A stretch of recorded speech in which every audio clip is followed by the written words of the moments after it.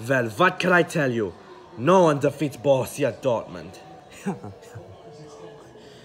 Not even San Diego Loyal. What the hell was that? Anna Maya, great grandma. I will never see that god awful game on ESPN ever again. And thank and thank God and thank and thank and and thank God Marco Reus decided to rejoin us. I wouldn't be the same without him. At least we got Jude Bellingham and we defeated Manchester United.